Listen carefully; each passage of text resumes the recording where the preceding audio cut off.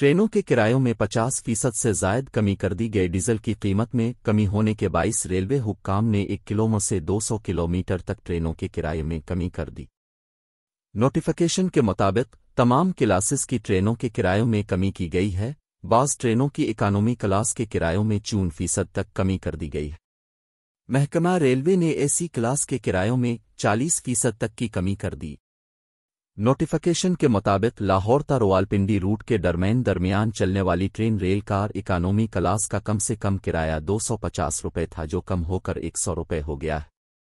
इसी तरह Khyber Mail train economy class का एक किलोमीटर से 130 किलोमीटर तक किराया 250 रुपये था, जो कम होकर 100 रुपये रह गया है।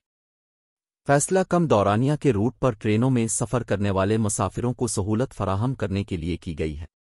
नए किराया नामा पर आज 21 मई से अमल दरामद हो गया।